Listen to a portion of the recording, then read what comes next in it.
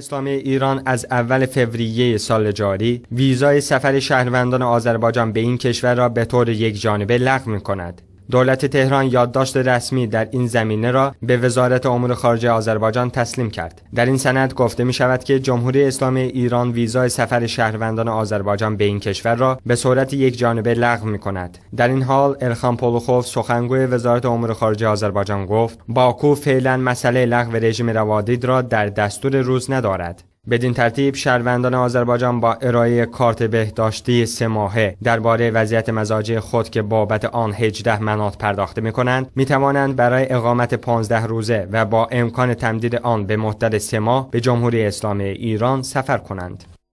به گزارش سایت کلمه وابسته به میر حسین موسوی وی در دیدار روز شنبه با مهدی کرجوبی با ابراز تأسف از اعدام دو نفر متهم به محارب و برخی از شهروندان مردم را به شرکت در راهپیمایی 22 بهمن دعوت کرد. سایت های کلمه و سهام نیوز به نقل از کروبی و موسوی نوشتن به نظر می رسد کسانی که اقدام به اعدام این دو نفر شده ماها قبل از جریان برگزاری انتخابات دستگیر شده و پرونده آنها نیز ارتباطی با حوادث انتخابات اخیر نداشته است. پس به نظر می رسد چنین اقدامی برای ایجاد خوف در مردم برای عدم حضور در راهپیمایی 22 بهمن است. آنها بازداشت های گسترده فعالان سیاسی مطبوعاتی و دانشگاهی به اتهام اعتراض جهت دفاع از حقوق خودشان را غیر قانونی خواندند. این در حالی است که روند اعترافگیری از این زندانیان نیز مغایر با مبانی اسلام و قانون اساسی جمهوری اسلامی ایران می باشد